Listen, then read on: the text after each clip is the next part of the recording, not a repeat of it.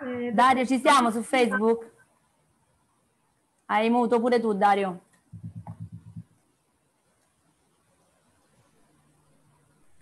Ok, ci siamo. Sta configurando. Ci siamo, ci siamo, ci siamo. Ok, buon pomeriggio a tutti. Allora, il primo luglio abbiamo lanciato questa iniziativa di arrivare fino alla Luna tutti insieme. Anche questa volta gli atleti di Special Olympics sono stati la nostra grande ispirazione. Questa, quanta attenzione per le regole no? avete avuto, hanno avuto in questi mesi? Quanto è stato grande il loro impegno durante i nostri Smart Games? Quanto ci stupiscono ogni volta che viene data loro la possibilità di esprimersi? Quanto affetto ci, ci donano? Quanto entusiasmo leggiamo nei loro occhi durante una gara? Quanta voglia di esserci e gioia di vivere ci insegnano? Quanto ci ispirano ogni giorno? Beh, se potessimo misurarlo sarebbe proprio così, sarebbe fino alla luna e ritorno, to the moon and back. I nostri atleti ci insegnano che l'impossibile può diventare possibile, proprio come arrivare sulla Luna. Allora oggi siamo circa in mille ad accumulare chilometri corsi, camminati, fatti in bici ed aumentiamo ogni giorno. Siamo arrivati a più di 60.000 chilometri percorsi, ma non finisce qui. Quindi abbiamo pensato che oggi dovevamo avere l'asso nella manica, giocarci un po' un asso nella manica, qualcuno che di spazio, di luna se ne intenda davvero. E allora il nostro ospite, il 28 maggio 2013, è partito dal cosmodromo di Baikonur in Kazakistan in direzione della Stazione Spaziale Internazionale. È stato il suo primo viaggio nello spazio ed è rimasto fino a novembre dello stesso anno. La missione prevedeva la sua partecipazione ad almeno due passeggiate spaziali, la prima delle quali ha avuto luogo il 9 luglio 2013 ed ha avuto una durata di 6 ore e 7 minuti. È diventato quindi il primo astronauta italiano a svolgere delle attività extraveicolari, vuol dire nello spazio ma fuori dalla navicella spaziale. Poi lui mi correggerà se sbaglio, eh, ma io ho capito così. Il 20 luglio 2019 è partito a bordo della navicella Soyuz MS-13. Nella, parte, nella seconda parte della missione ha ricoperto il ruolo di comandante della Stazione Spaziale Internazionale. Pensate che è stata la prima volta che questo ruolo è stato assegnato ad un italiano, eh? che orgoglio. Il 25 gennaio 2020, durante un delicatissimo intervento per riparare lo spettrometro magnetico alfa, che non ho idea di che cosa sia, ma penso che sia una cosa importante così dal nome, ha superato il record europeo di permanenza fuori dalla propria navicella spaziale, 31 ore e 54 minuti, poi dopo mi spiega perché non ha fatto altri 6 minuti, che arrivavamo alle 32 ore, donde donde, però va bene pure così, 31 ore e 54 minuti fuori, eh, nello spazio. Quindi ecco, noi oggi, ed è per me veramente un grandissimo onore presentarlo a tutti voi, Luca Parmitano. Luca, tu sei stato sulla Stazione Spaziale Internazionale, quindi ce la puoi, ben due volte, no? Ce la puoi raccontare questa avventura? Queste due avventure, ma hai già detto tantissimo tu. Innanzitutto buongiorno, fammi salutare tutti, tutti i partecipanti. Che, che, piacere essere qui, che, che onore, grazie dell'invito, una grandissima gioia. La, l'avventura spaziale, eh, le due avventure, le due eh, escursioni fuori dalla Terra che ho fatto sono sicuramente uno dei momenti più, eh, più belli da un punto di vista sia professionale che umano, perché è un po' un sogno che si realizza, è, è un po' come per un atleta eh, giungere um, alla gara e poi completare tutta la gara e giungere al traguardo. Un, per, per, un astronauta è chiaro che è, è bellissima la fase di addestramento, è, tan, è tan bello imparare a prendere, prepararsi, poi chiaramente trovarsi a bordo della Stazione Spaziale Internazionale è, è, è almeno altrettanto interessante. Eh, la Stazione Spaziale Internazionale, per chi non ha eh, molte competenze di astronauti, ed è normale non averle, è un laboratorio, un laboratorio orbitante eh, a circa 400-420 km di quota e a bordo della stazione il nostro lavoro è quello di fare eh, tanti, tantissimi esperimenti eh, circa 200 esperimenti per ogni incremento di sei mesi. Eh, gli astronauti a volte sono eh, gli scienziati, a volte partecipiamo, a volte siamo le cavie noi stesse degli esperimenti e poi chiaramente tutta la vita a bordo, eh, inclusi anche gli, gli allenamenti fisici che facciamo ogni giorno, due ore e mezza al giorno, per mantenere il, il nostro fisico in forma anche in uh, condizioni di microgravità. Senti Luca, qual è la sensazione che si prova nel momento in cui si parte dalla Terra? Cioè si viene puff, sparati ad altissima velocità nello spazio? Che sensazione c'è? Allora, io immagino che la maggior parte di, di noi abbia esperienza di, eh, di, volo commerciale, quando siamo seduti sul, sull'aereo, siamo sulla pista pronti al decollo, il pilota davanti dà tutto motore per prendere velocità e sentiamo quella spinta dietro la schiena, è un po' una specie, una, un po' una piccola sensazione di, di peso sulla, sullo stomaco, sul petto, quella è l'accelerazione che ci schiaccia sul sedile. Ora, se la moltiplicate per uh, eh, 10-15 volte, più o meno è la sensazione che abbiamo durante la partenza, perché la nostra navetta deve andare da 0 km a 250 km, da 0 km all'ora a 28.000 km l'ora in 8 minuti e 48 secondi. Quindi è una, una forte accelerazione che ci porta ad avere un peso, una sensazione di peso corporeo quattro volte e mezza eh, rispetto alla, nost- alla normalità. Quindi ci sentiamo proprio schiacciati come se una mano gigantesca ci premesse sul petto. Però è anche divertente perché è molto dinamico, un momento è un, un po' come le montagne russe, no? un, un po' è anche l'inizio dell'avventura. Quindi a me è sempre piaciuto moltissimo il, sia la preparazione eh, alla, al lancio nella navetta che il lancio stesso. È un momento, è un momento molto bello, di, di grandissima gioia e anche di, di tanta concentrazione, chiaro. Senti, invece la sensazione quando esci dalla navicella e, eh, e vai nello spazio, invece, che tipo di sensazione c'è di vuoto? Che, che tipo di sensazione hai in quel momento?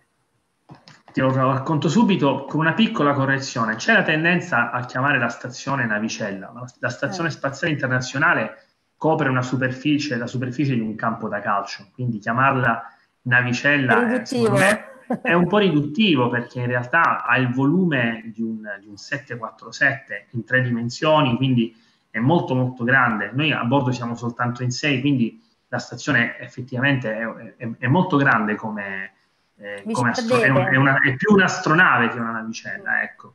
Eh, e sì, all'inizio qualcuno ci, qualcuno ci si perde pure.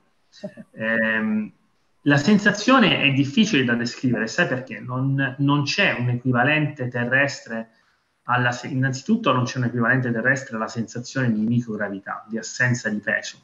Non, non è possibile davvero eh, imitare quella sensazione. E poi c'è un altro aspetto che non, sono, non solo quando sei all'interno della stazione, eh, sei in microgravità, galleggi, ti muovi, quindi già sperimenti su di te qualcosa di assolutamente eh, diverso e di unico, ma quando sei fuori adesso trasporti tutto questo insieme di emozioni e sensazioni in un ambiente che è proibi- proibito, proibito per tutti perché soltanto pochissime persone hanno avuto il privilegio di effettuare attività extraveicolari perché per poterlo fare serve un addestramento particolare, serve uno scafandro eh, che ti protegge dalla, da, dal vuoto, dello spazio, dal freddo, dal caldo. Eh, però eh, ti, ancora una volta c'è l'aspetto, oltre all'aspetto professionale del lavoro che vai a far fuori, perché chiamarle passeggiate anche lì è un po' fuorviante perché di fatto è, un, è una maratona, è un, è, sono tante tante ore consecutive di lavoro all'interno di questo scafandro che è molto difficile da gestire.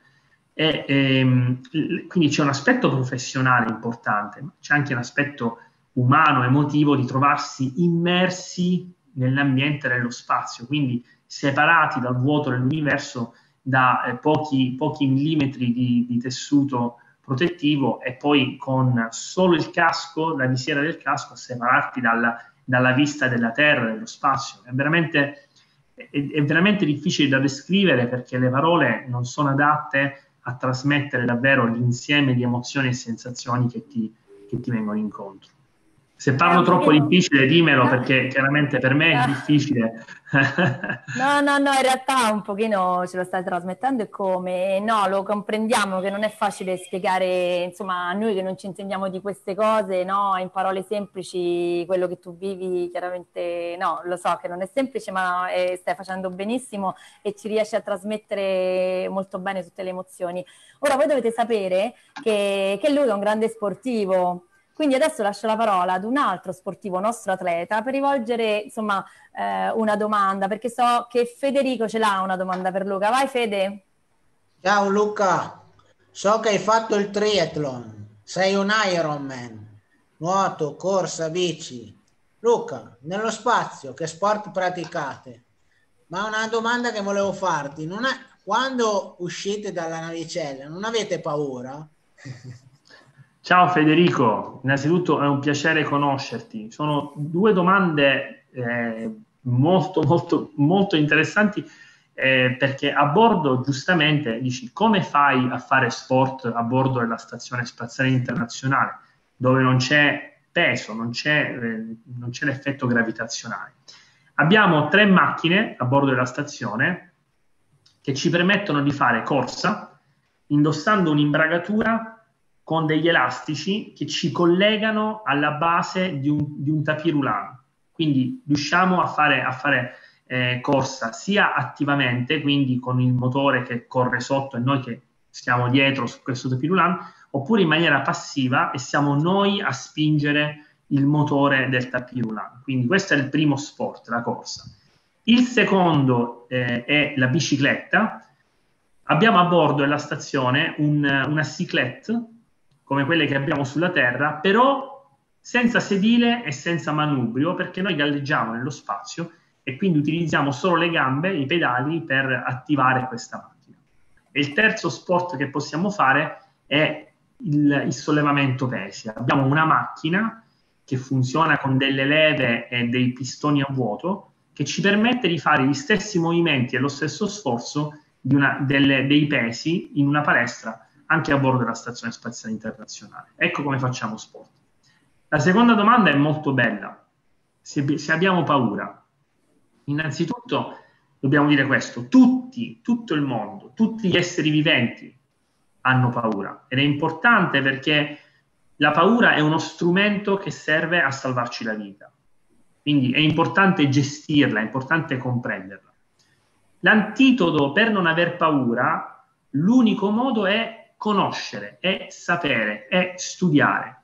Più studi, più conosci, più sai, meno paura hai perché comprendi quello che, su, quello che può succedere. Quindi quando noi andiamo a fare un'attività extraveicolare, quando noi usciamo dall'astronave, non pensiamo alla paura perché sappiamo come dobbiamo gestire noi stessi e le nostre macchine per risolvere le situazioni. Bene, grazie, grazie Luca, grazie Fede. Adesso vedo che Miriam vuole fare una domanda. Vai Miriam. Miriam, ti devi attivare il microfono, eh? ti ricordi? Devi, devi attivarlo tu perché Lisa te lo ha attivato. Vai. No, non lo riesci ad attivare. Eh, ecco, vai. Fatto, vai. Come vivere in assenza di peso e poi riabituarsi al peso, corp- al peso corporeo?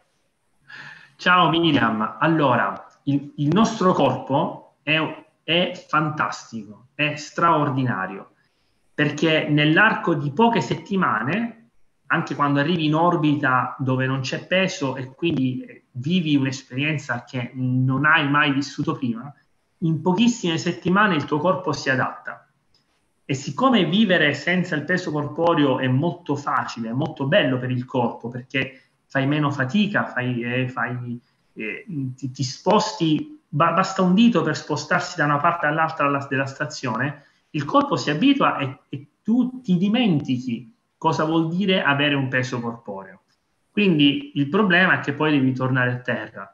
Quando rientri, tutto un tratto, dopo sei o sette mesi di permanenza in orbita in cui non hai avuto un peso, te lo ritrovi tutto addosso. Tutto a un tratto, tutto in una volta, da che non pesavi niente, pesavi, io peso 85 kg, me li sono ritrovati sulle spalle sul corpo e quindi tu, per, all'inizio sembra estremamente faticoso perché è come se tu tutto un tratto dovessi prendere te stessa e mettertela sulle spalle, come, come portarti te stessa addosso. Quindi per un paio di settimane è molto molto faticoso. Io mi ricordo che anche sollevare un braccio, il, i muscoli del collo per tenere, per tenere, la testa in equilibrio, perché comunque la testa ha un peso, le braccia hanno, hanno un peso, quindi all'inizio è molto faticoso, ma fortunatamente il tuo corpo si adatta di nuovo anche a tornare in gravità e quindi dopo qualche, dopo qualche settimana eh, riesci di nuovo a, sen- a, a, sentirti a tuo agio nonostante eh, ti porti di nuovo il peso corporeo addosso. Però ecco, ci vuole un po', ci vuole un po di lavoro, un po' di riabilitazione. Ecco. Noi fa- ci lavoriamo con i nostri, eh, con i nostri uh, trainer, con i nostri allenatori per rimetterci in forma quando rientriamo. Grazie Luca e grazie a Miriam per la domanda. Carlotta, vai Carlotta. Ti devi sempre attivare il microfono, eh? Vai.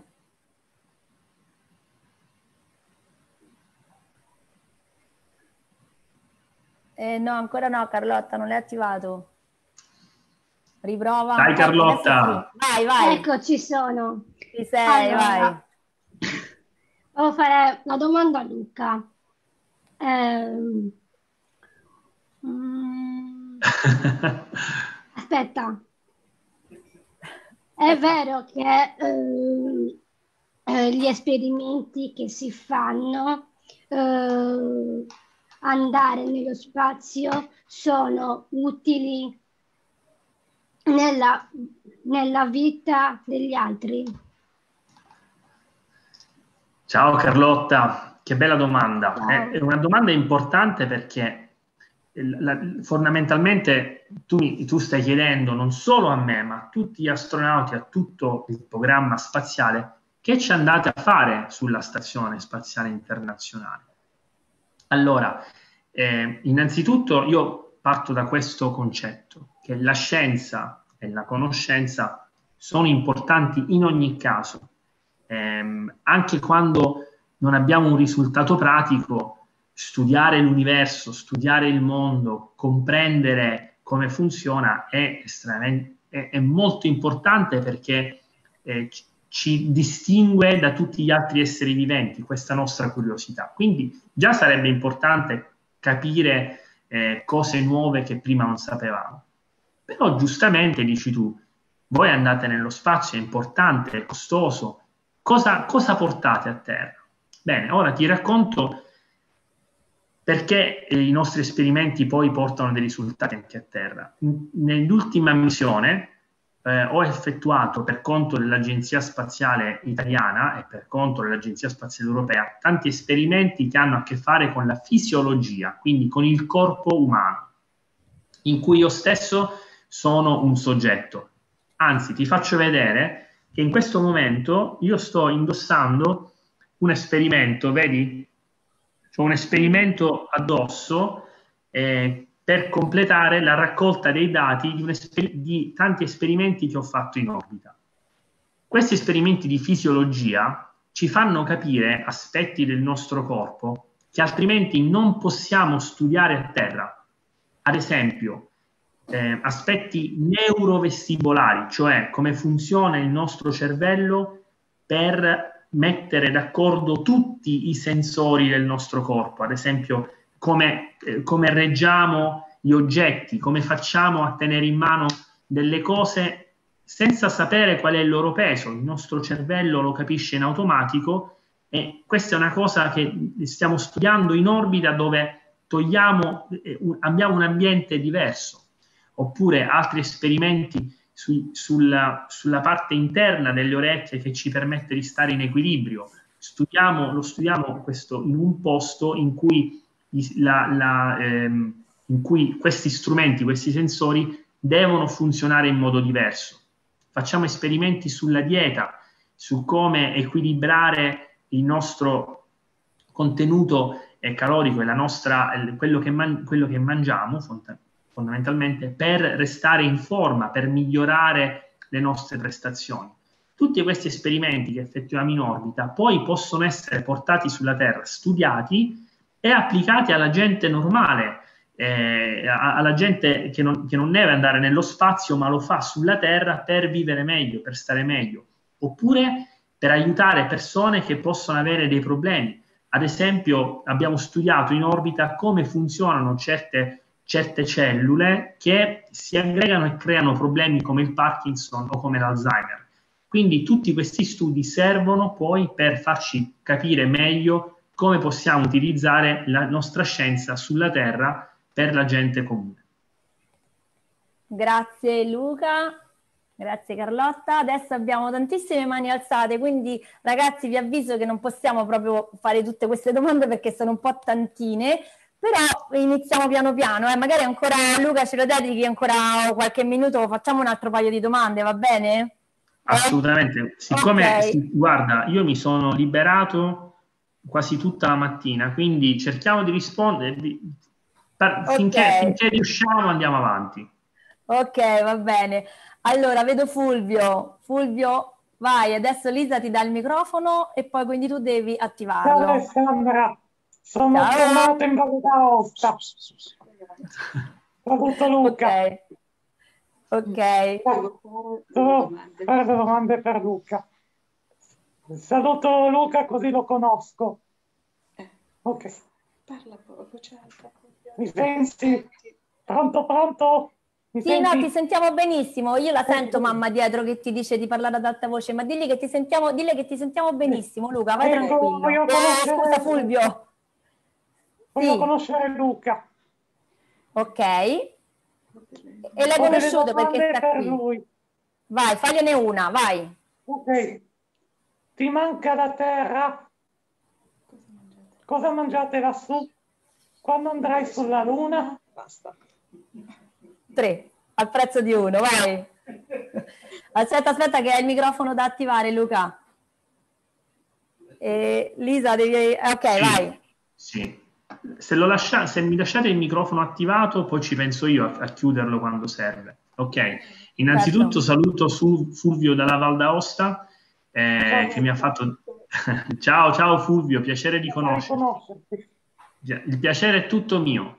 Eh, allora, la prima domanda, se mi manca la Terra. In realtà, quando siamo a bordo, noi la vediamo tutti i giorni la Terra, la vediamo da lontano, però sappiamo che è lì. Quindi in realtà cerchiamo più che altro di goderci il tempo che siamo in orbita.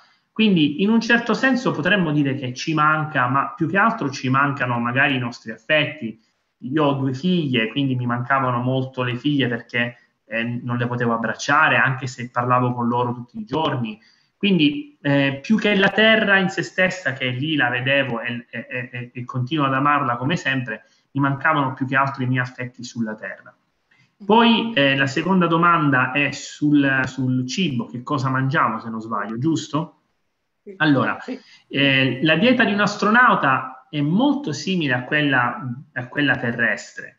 La differenza è come prepariamo il cibo, perché a bordo non abbiamo il forno, non abbiamo il fornello, non abbiamo pentole, perché ovviamente non- nulla resterebbe dentro, eh, dentro il contenitore. Quindi dobbiamo adattarci a cucinare in un altro modo. Quindi il nostro cibo è tutto già pronto, come quello che puoi comprare già pronto anche al supermercato, e il nostro lavoro consiste nello scaldarlo, ad esempio eh, carne, pollo, eh, paste, vari tipi di pasta, anche delle zuppe, lo dobbiamo solo scaldare oppure dobbiamo aggiungere acqua per reidratarlo, perché il nostro cibo è stato preparato eh, se- senza acqua in modo da essere leggero.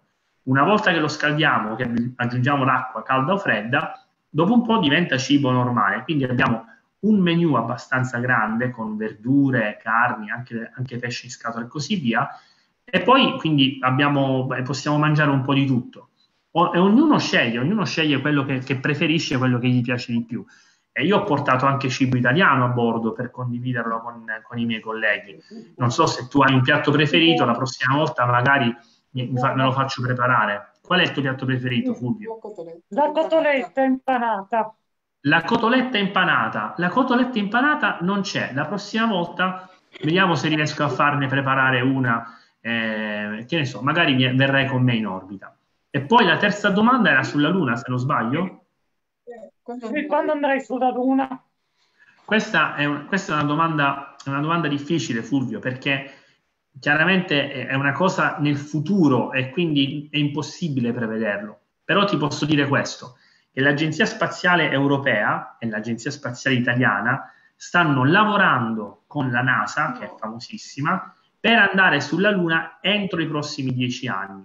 E con un po' di fortuna, non so quando, non so se fra 5, 6, 7, non lo so quando, ma con un po' di fortuna forse anch'io potrei andare sulla Luna. Speriamo entro i prossimi dieci anni. Porta anche me, portami anche me. Vuoi venire anche tu sulla Luna?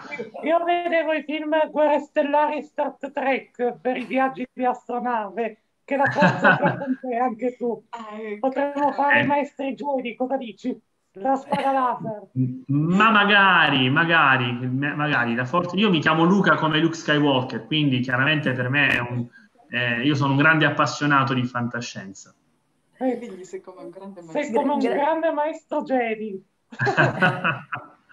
Grazie Fulvio, grazie. Grazie Luca. Abbiamo anche Aurora. Vai Aurora. Aurora ti dà il microfono. Ecco qua. Vai. Ciao Luca, Ciao Aurora. volevo fare una domanda riguardo del cibo. Io però ho visto il telegiornale, non lo so se questa è una cosa esatta, che quando mangiate un qualcosa, il cibo vola. Questo è vero o no che ho visto il telegiornale? Il cibo vola. Eh sì, ho visto proprio così al telegiornale, insomma. Luca, il cibo vola. È vero. Eh, abbiamo il microfono. Luca, hai il microfono muto, ma secondo me te lo mu- non lo stiamo toccando, eh, noi. Guarda No, lo, lo tol- sai, lo tolgo Ok. io perché sento, quando Ah, ok. parlano gli altri sento, sento dell'eco. Allora, ehm, sì, sento È dell'eco. vero Allora, che il cibo vola? Ecco, Sì, ho sentito la domanda. telegiornale. Allora, il cibo effettivamente, se noi non, se noi non facessimo nulla, il cibo Eh. volerebbe dappertutto. È, è vero, perché siamo in microgravità, quindi eh, do- dobbiamo stare attenti. Quello che facciamo è no- normalmente quan- quello che tu vedi in TV al Sì. telegiornale è un nostro modo per fare vedere, nei, eh, fare vedere alla gente che siamo in orbita e quindi un po' giochiamo con il cibo facendolo volare. Normalmente quando siamo, quando siamo per i fatti nostri e mangiamo, eh, eh, lo, lo teniamo contenuto nelle- in delle- nei, dei piccoli contenitori in modo che altrimenti andrebbe a sporcare dappertutto. Immagina se, se mangiamo la zuppa e la facciamo volare dappertutto, poi dobbiamo, dobbiamo, pulire, dobbiamo pulire costantemente. Quindi bisogna fare un po' di attenzione quando mangiamo in modo che non ci siano degli schizzi in giro, però il cibo è tutto, tutto galleggia in orbita, compreso il cibo. È vero, assolutamente vero. Grazie allora per la domanda, Aurora. Abbiamo Andrea Pagliaro. Vai Andrea.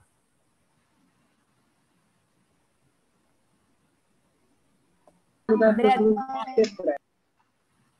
No, Andrea, hai attivato e poi lo hai disattivato. Riprova. Quello che hai fatto prima, perché l'hai attivato per un secondo. No? Non ci riusciamo? Senti Andrea, allora facciamo, passiamo alla domanda dopo e poi magari torniamo da te se ci dici che lo riesci ad attivare, ok? Ecco. Vai Andrea, vai.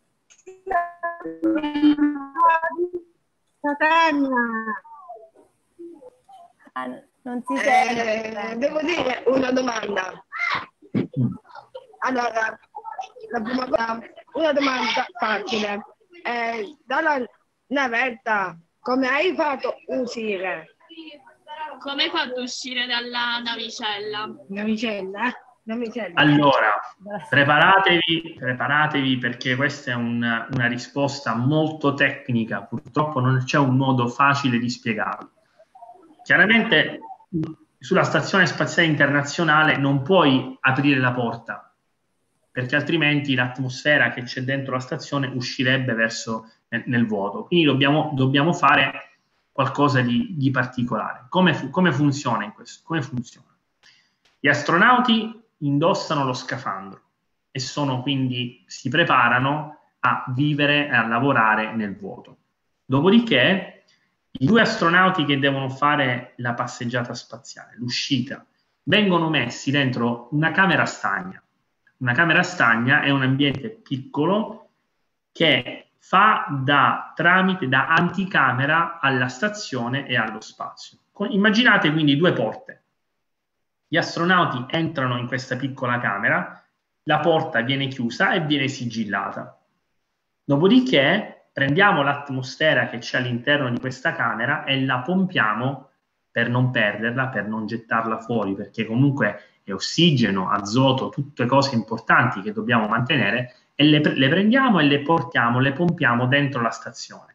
A quel punto siamo già nel vuoto all'interno di questa camera stagna e possiamo aprire la seconda porta. Quindi abbiamo chiuso questa, la stazione è isolata, apriamo l'altra porta, il- abbiamo creato il vuoto dentro la piccola camera, siamo aperti all'esterno e a questo punto gli astronauti possono uscire utilizzando lo scafandro per vivere, per lavorare. Dopodiché, al rientro, quando tutto è finito, facciamo la procedura opposta.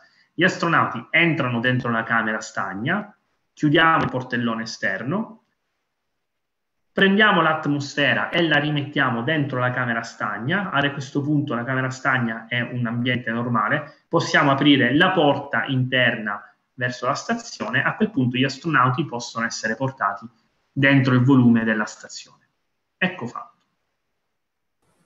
Wow, grazie Luca. Allora abbiamo eh, Jacopo Rocchi. Vai Jacopo. Allora, eh, ciao a tutti ragazzi.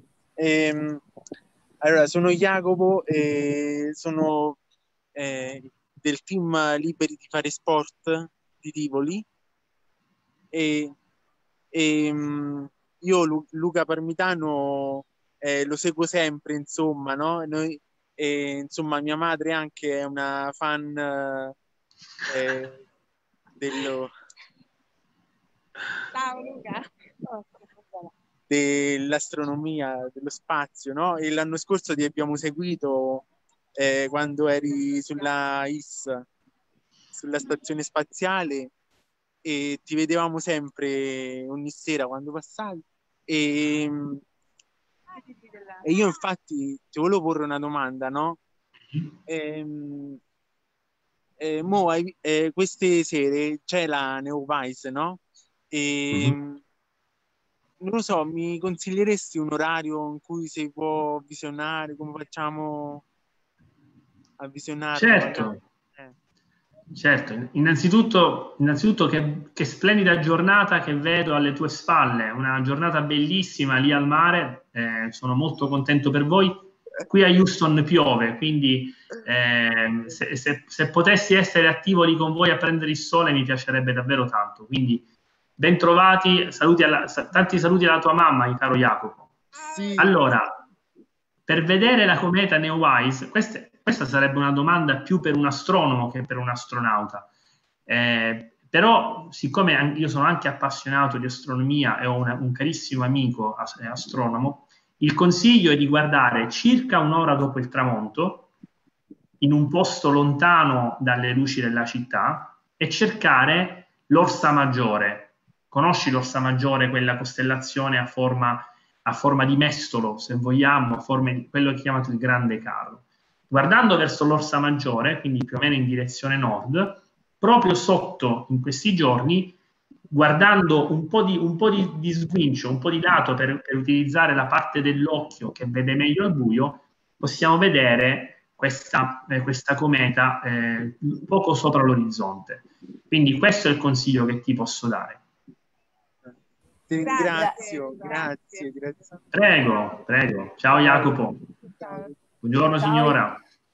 Ciao Jacopo. Adesso abbiamo Lorenzo Tagliasacchi, che secondo me è preparatissimo perché ha anche uno sfondo, vedo, particolare. Vai Lorenzo, ti devi attivare il microfono. Eh, salve. Hai tolto la telecamera? eccoti, vai Lorenzo. Ciao, eh, vole- esci. Eh, volevo dire, volevo fare una domanda a Luca. Vai. Allora, eh, io da grande vorrei fare l'astronauta come te e vorrei chiederti che tipo di studi si dovrebbero fare per appunto riuscire a arrivare a questo traguardo. Ciao Lorenzo, tu sei già arrivato su Marte da quello che vedo. Che, che bel, bellissimo sfondo. Allora, ti faccio io una domanda per rispondere alla tua. Quali sono le materie che ti piacciono di più? Allora, eh, materie, fisica, matematica. Se non, non è proprio una materia, ma astronomia la seguo molto, cioè mi piace molto. Ogni sera mi Come metto no, a guardare le stelle.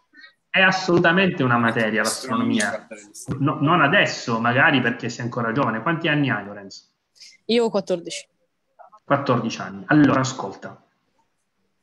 Davanti a te hai circa 20 anni nel tuo futuro prima di, di avere l'occasione giusta, l'età giusta e l'esperienza giusta per partecipare a una selezione per astronauti. Questo perché normalmente non, c'è una scuola per diventare astronauti, quello che succede è che tu vieni selezionato da- do- dal tuo mondo di lavoro, dal tuo mondo eh, di, di studi e così via, e poi vieni preparato per andare nello spazio. Allora, e, e non c'è un percorso di studi che sia migliore di un altro. Cioè, quello che è importante, innanzitutto, è essere curiosi. E questo mi sembra che tu già ce l'abbia eh, in base a quello che mi hai detto. L'altra cosa è, in mezzo a tutta la gente curiosa, è essere bravi, bravi in quello che si fa, in modo che, in modo che l'agenzia abbia voglia di selezionarti, di, di, di prenderti perché sei bravo in quello che fai. L'unico, il, migliodo, il modo migliore, secondo me, per essere bravi è di amare quello che si fa.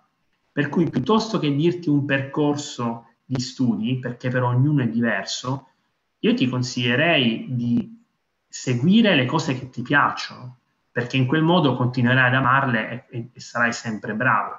Se ti piace la matematica, l'ingegneria, la scienza, l'astronomia, la fisica, segui il percorso di studi che più si adatta a quello che a te piace. Sicuramente il liceo scientifico, per esempio, che è quello che ho fatto io, è una scuola che, che contiene queste materie, che le sviluppa bene e poi ti permette l'accesso in futuro all'università. Io eh, ho, sono entrato uh, da giovanissimo in Accademia Aeronautica perché volevo volare, mi piaceva il volo, eh, mi, eh, volevo, volevo, provare questa ebbrezza e mi ha permesso poi di seguire tutta una carriera che proprio a, tre, proprio a 33 anni, quindi l'età che tu avrai fra 20 anni, mi ha portato ad essere selezionato come astronauta. Ma non c'è una formula magica. La, il modo, secondo me, è, la, cosa, la cosa importante è, è amare, amare le proprie scelte, amare quello che si fa, amare il proprio lavoro, i propri studi. E alla tua età, visto che sei curioso, io ti consiglio anche questo. Vai a guardare anche le materie che in questo momento magari non ti appassionano tantissimo, perché non sai, se non le provi non puoi sapere che ti piacciono. Magari ci sono tante altre cose, la biologia, la chimica, che ti possono interessare, lo studio della vita, e magari guardandole dici, ah, questa è una cosa bellissima. Perché sai, la, la scienza, no, noi esseri umani eh, tendiamo a dividerla in tante caselle. Da una parte mettiamo la fisica, dall'altra mettiamo la chimica, in mezzo la matematica, eh, di qua ci mettiamo la biologia, ma in realtà la scienza è tutta una e avere competenze in tante cose diverse è, è, è è importante ed è estremamente appassionante. Quindi io ti, ti auguro di essere sempre curioso e di continuare e di investire il tuo tempo nello studio, nella conoscenza e di amare quello che fai. Grazie. Okay. Grazie mille comunque, grazie. Prego. Grazie Lorenzo, grazie Luca. Allora, Vincenzo Di Chiera, vai. Ok. Vincenzo. Allora, io non è... Allora, ciao a tutti. Eh, eh, sono Luca. Eh, Sì. Luca eh, eh, quante, quante gambe è grande Allora, l'astronave, innan- Luca? innanzitutto, ciao Vincenzo.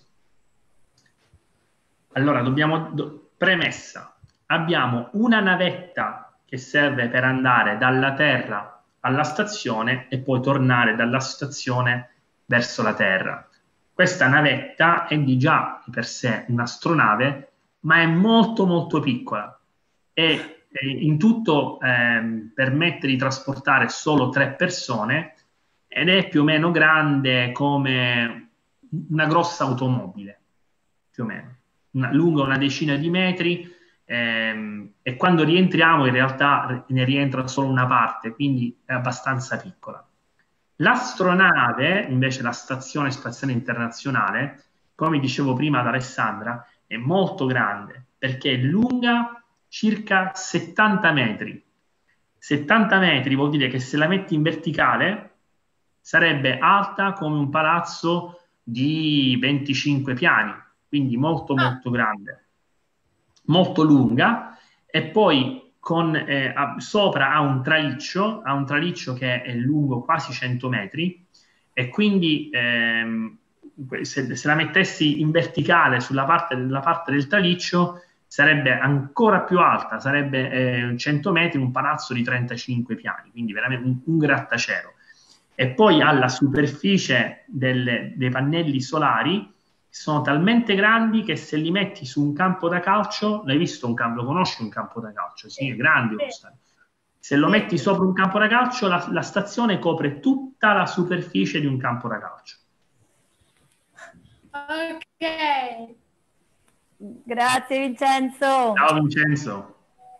Allora, senti Luca, quindi possiamo contare su di te, cioè ci aiuti ad arrivare sulla Luna in qualche modo, fai con noi questi passi, perché secondo me se tu attivi un GPS un giorno o l'altro, insomma, ci aiuti ad arrivare sulla Luna, ci arriviamo al volo, ti unisci agli atleti Special Olympics in questa cosa, ci supporti. Allora, allora io eh, non ho la- l'applicazione che voi uti- state utilizzando per raccogliere i dati, che se non sbaglio si chiama, è, è la Rantastic. Sì, Eh, te la possiamo ogni- mandare. Sì, beh, ognuno utilizza, ognuno utilizza delle applicazioni diverse per, per- per seguire il proprio, il proprio allenamento. Sappiate che io mi alleno tutti i giorni. Se mi dite la data di partenza e la data della fine, vi mando tutti- tutte le mie distanze che ho coperto con la corsa e con, e con la bicicletta. Perfetto, va benissimo, d'accordo allora, allora d'accordo. E a questo punto io lascerei, adesso lasciamo un attimo lo spazio ad un intervento splendido che ci aiuterà a visualizzare ancora meglio quello di cui ci ha parlato Luca e il nostro viaggio verso la Luna. Prima intanto voglio ringraziare per essere stati qui con noi il nostro direttore europeo di Special Olympics David Evangelista e so che c'è il presidente del Panathlon Italia Giorgio Costa, il vicepresidente, la federazione rugby, Marco Chessa, delegato della Sindaca Appendino e molti giornalisti, quindi ringrazio veramente tutti di essere presenti qui oggi e anche tutto il nostro board. Ora lascerei eh, la parola al professor Angelo Lucio Antonelli dell'Osservatorio di Roma per appunto commentare le immagini che andremo a vedere che ci spiegheranno questo cosa troviamo da noi alla Luna, per arrivare alla Luna. Vai, professore, le lascio la parola, si può attivare il microfono. E Dario dovresti inviare, mandare il video. Intanto buonasera a tutti, un grosso ciao a tutti, eh, buonasera a Luca, è sempre un piacere sentirlo. Io ho avuto modo di vederlo dal vivo all'Agenzia Spaziale Italiana, dove lavora- ho lavorato anch'io per un po' di tempo.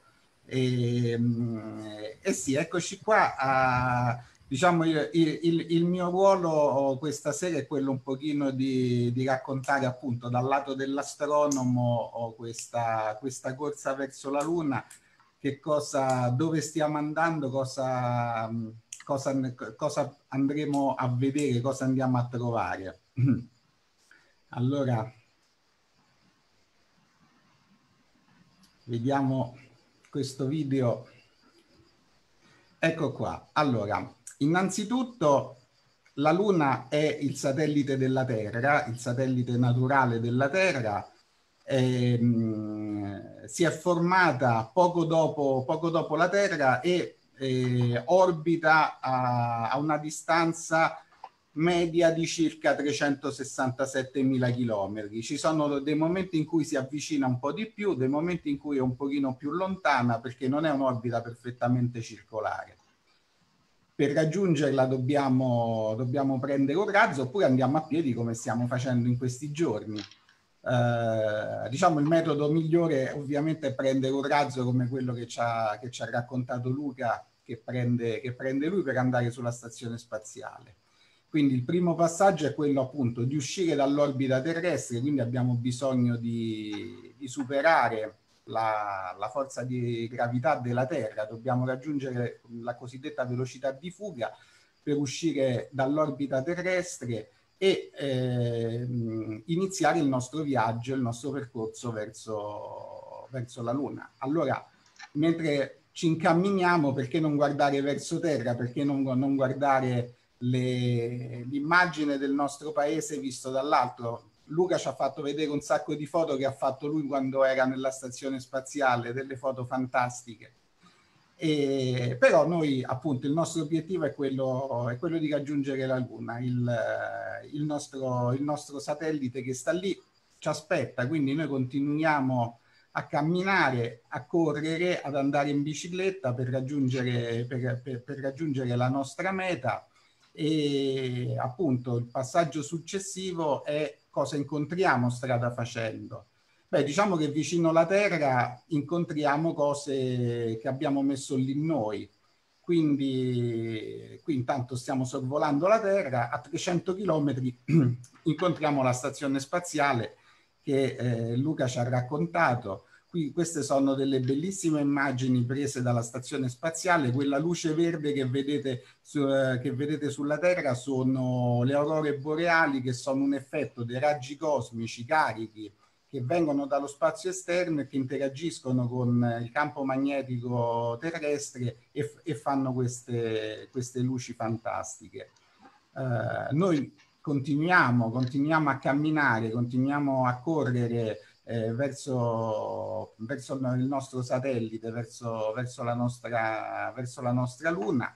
Uh, passiamo accanto a Luca che sta lì, che sta trafficando per, uh, fuori dalla stazione spaziale come, come, ci ha raccontato. Ti facciamo ciao Luca mentre passiamo e um, continuiamo appunto dopo essere passati a fianco alla stazione spaziale eh, andiamo ancora un po' più lontano, a 600 km troviamo quelli che sono i satelliti eh, per, eh, per, fare la scienza, anche per osservare l'universo. Ad esempio, il più famoso di tutti forse è l'Hubble Space Telescope, il telescopio spaziale da due metri di diametro che oramai sono più di vent'anni che è in orbita e che ci ha permesso di conoscere sempre meglio il nostro universo, perché facciamo volare un, un telescopio fuori dall'orbita, fuori, fuori dalla Terra? Perché ehm, sulla Terra noi abbiamo l'atmosfera terrestre che ci dà fastidio, invece eh, facendo volare il nostro strumento al di fuori dell'orbita terrestre, eh, scusate, al di fuori dell'atmosfera terrestre, eliminiamo quegli effetti, quegli effetti dell'atmosfera e, ehm, e, e, questo ci aiuta a studiare meglio l'universo, quindi a cercare nuovi mondi, a guardare altre galassie, altri sistemi di stelle come quelli che stiamo vedendo adesso, sistemi di stelle come la nostra galassia. Noi viviamo in una, una regione, in una regione di spazio che ha questo aspetto qui che stiamo vedendo, c'è un insieme di polvere, gas e stelle, 100 miliardi di stelle la nostra galassia, che eh, appunto oh, sono tenute insieme dalla forza di gravità. E quante galassie ci sono nell'universo? Nell'universo ce ne sono veramente tante. A naso, a spanne, stiamo sui, sui 100 miliardi di galassie. Ogni galassia ha 100 miliardi di stelle, quindi potete immaginare stelle, quante stelle e anche quanti possibili sistemi planetari ci possono essere. Sistemi planetari che probabilmente hanno anche loro, pianeti che hanno anche loro dei satelliti, così come noi abbiamo la nostra Luna. Continuando la nostra corsa, il, le altre cose che incontriamo lungo la strada sono la costellazione dei satelliti GPS a 20.000 km, quelli che ci permettono di, di vedere, di, di, trovare la strada sul nostro cellulare. A 36.000 km invece ci sono i satelliti geostazionari per le telecomunicazioni che invece ci permettono di vedere le partite di calcio che vengono fatte in altre parti del mondo. Eh, ad oggi la nostra navicella speciale fatta da, da, tutti quelli che stanno correndo verso la Luna per questa manifestazione è arrivata, come abbiamo detto, quasi a 60.000 chilometri. 60.000 chilometri vuol dire che è circa un sesto del percorso che ci separa dall'arrivare, eh, dall'arrivare alla Luna.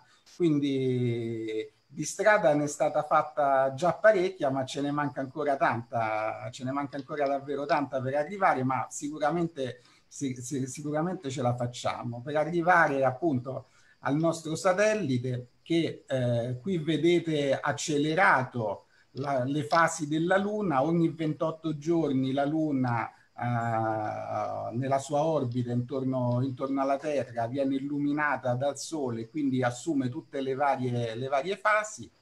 E qui, eh, grazie a, ai filmati della NASA, a, girati ai tempi delle missioni Apollo, vediamo che cosa si vede quando ci avviciniamo alla Luna.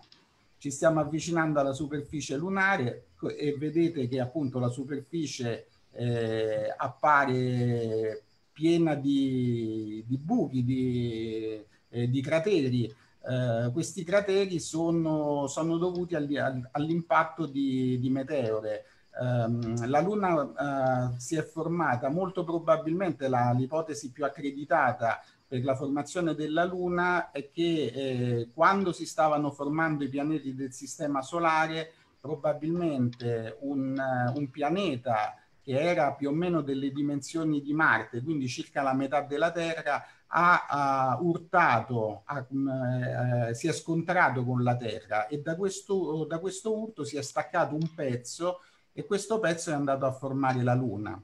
Poi una volta che la, che il, la Luna si è formata, si è, mh, ha cominciato a subire il bombardamento delle, di tutto quello che c'era rimasto nello spazio circostante, quindi per questo si sono formati crateri piccoli e grandi. La Luna è più piccola della Terra, circa un sesto, e questo qui fa sì che il, uh, uh, la gravità è decisamente inferiore, per cui uh, come vedete correre sulla Luna, camminare sulla Luna è molto diverso che non farlo sulla Terra. Uh, si pesa molto di meno, si fa meno sforzo e, e probabilmente anche, anche colpa del, delle tute spaziali che ci permettono di sopravvivere in un ambiente così ostile, diciamo, per la vita dell'uomo, sembriamo un po' più goffi a, a fare questo, queste passeggiate, ma sicuramente, sicuramente si, fatica, si fatica di meno.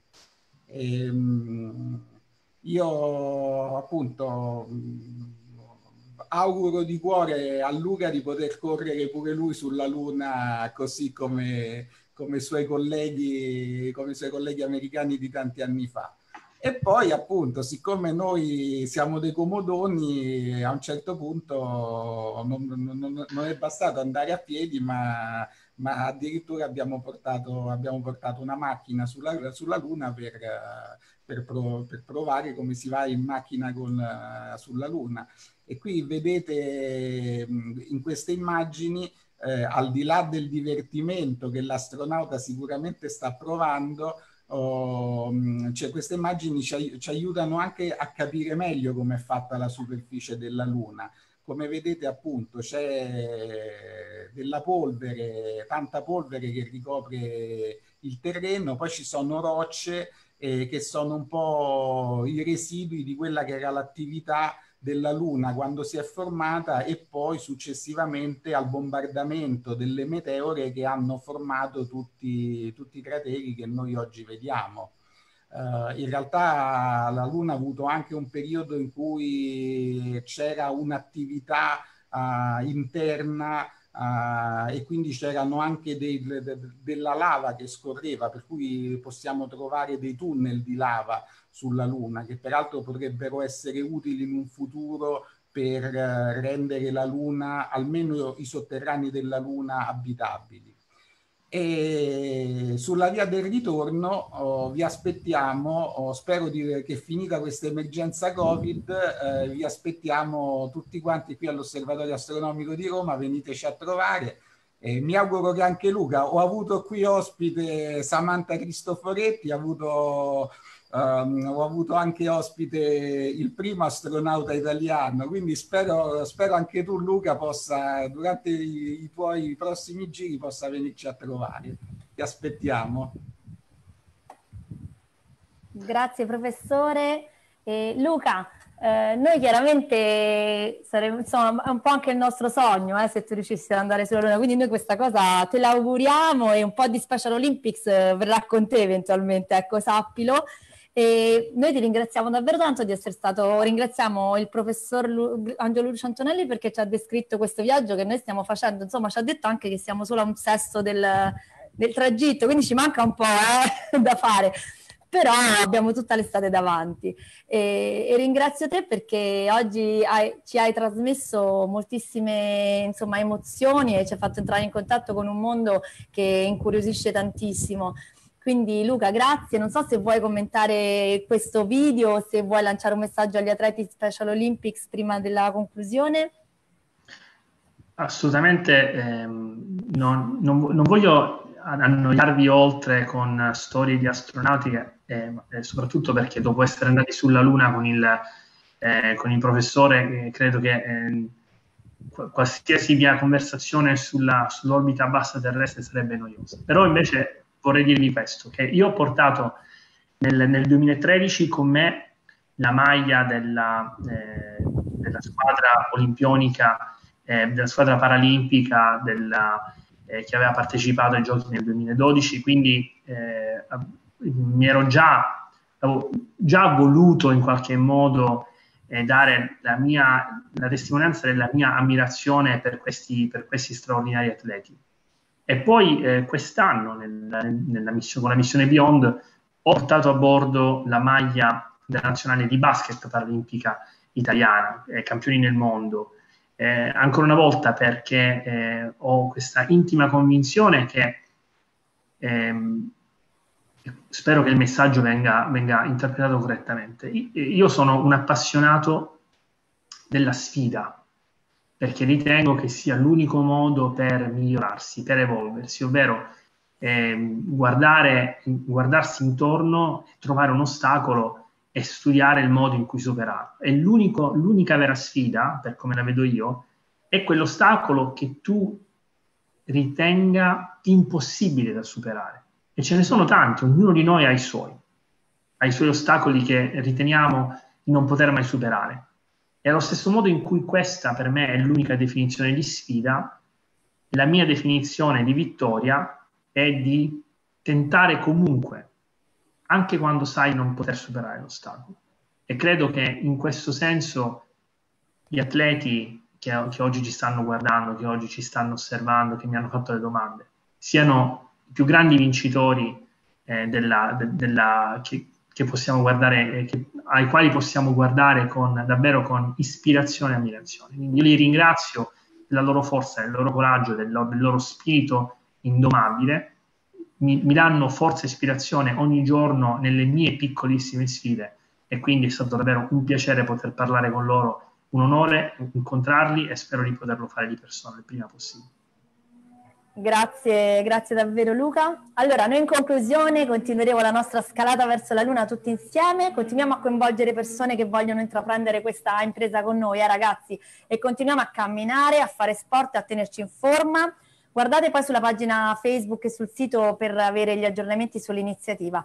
Sai Luca, devi sapere che per noi di Special Olympics nei mesi scorsi è stato proprio importante sentirci tutti uniti, ci ha fatto sentire più forti e allora dobbiamo continuare così, avviciniamoci alla Luna insieme, rendiamo possibile l'impossibile, come ci insegnano proprio i nostri atleti. Arriviamo sulla Luna nell'attesa di rivederci tutti in uno dei nostri prossimi eventi, dove speriamo di vedere anche te Luca, e dove gli abbracci dei nostri atleti, il calore dei nostri volontari, le attenzioni dei familiari torneranno ad essere i veri protagonisti e ci faranno rivivere le emozioni che noi tutti ben conosciamo. Quindi grazie a tutti per la partecipazione di oggi, grazie Luca, grazie professore, grazie e buona estate a tutti. Ciao!